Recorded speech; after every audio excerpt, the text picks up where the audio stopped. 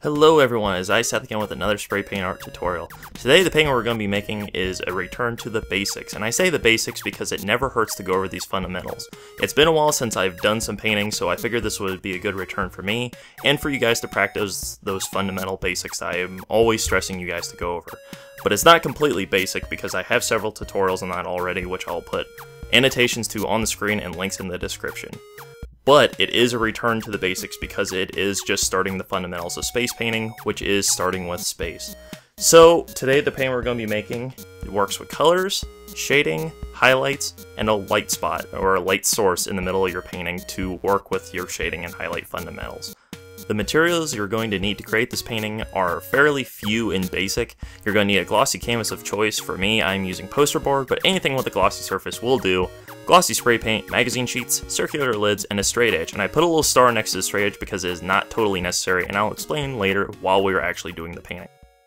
So let's get right into it. The first thing I do is set out all my plant stencils where I want them, and I'm going to mark them very lightly with some black spray paint. As you can see, I'm just very, like, lightly misting where my uh, stencils are, so that way I'm not wasting a whole bunch of paint layer trying to guess and check where all my plants are going to go. For my plants on the left, I'm using yellow, orange, and red, and as you can see, I'm keeping the paint very light, just enough to color, just enough to cover. There we go.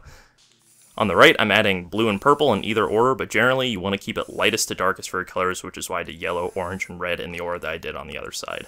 Blue and purple are about the same lightness, so I, you know, it doesn't really matter that much.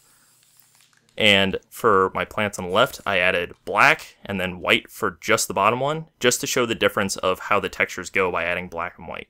The top one has a more cratered look, and the bottom one has a few more different details and is brightened up just a little bit. For my plants on the right, I just added white, and I also crumpled the magazine sheet a little bit, and as you can see, it leaves a bunch of different like little textures and designs. It also gives it like a very cloudy, gaseous look to the planet, which I, you know, quite like. and since we're going to add a light source to the middle of this painting later, I am shading the outside of the plants because light generally creates a shadow on the further side. So I'm shading the outside of all my textures, and this is a good way to work with your can control and make sure that you know where your paint's going. And since we're adding a light source in the middle, we're going to add a highlight to the inner part of the planets. And then you want to set your planet stencils back on. You want to make sure to get some of the highlight and some of the shadow. Because if you don't get either, you're going to have one planet that's sticking out and all the other ones are going to have uh, all these different like lighting effects on them and you're going to have this one that's just sticking out and weird looking.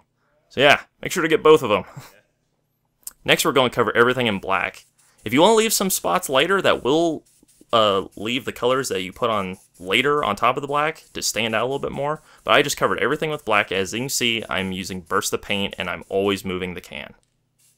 Which assures that the layer of black is very light, so I can add colors on like this and they stand out a lot more. So for my warm color side, I'm adding cool colors to make them stand out more for both colors, for the sky color and for the plants. And I'm doing the exact opposite on the cool color side. I'm adding warm colors such as yellow and orange and red.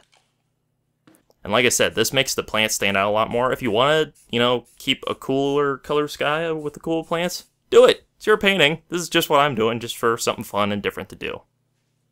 Next, we're going to add some stars. So all I'm doing, I'm spraying white paint on my finger off to the side, flicking off the big blobs, and then I'm returning to my canvas and flicking off the stars to get this nice, you know, uniform size of stars so there's not these giant blobs of paint landing on there.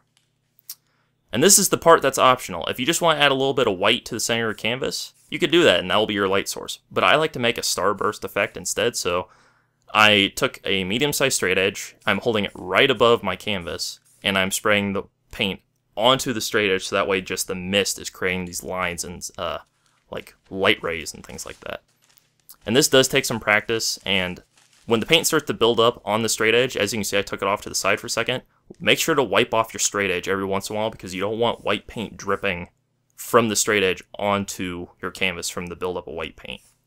So this does take some practice. I never set the straight edge directly on the painting. I might set on the edge of the canvas like you see there, or I might set on top of the straight edge.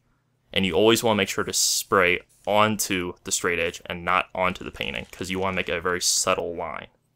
And then at the end, I just sprayed a little bit of white in the middle of my starburst or sunburst, whatever, light rays to kind of hold it all together. And that's it. All you gotta do is remove your plant stencils and you are done. And here's our finished product. Like I said, this is a fairly basic, but a little bit more advanced than basic painting that everybody should start off with and to get the fundamentals down as far as your can control, how heavy to layer the paints, and just get these basic ideas down before you start the more advanced stuff. This was a good way for me to get back into spray painting since I haven't done it for about a year, and it's always good for you guys to practice that too. So as always, I hope you guys enjoyed the video, and of course, I will see you all later.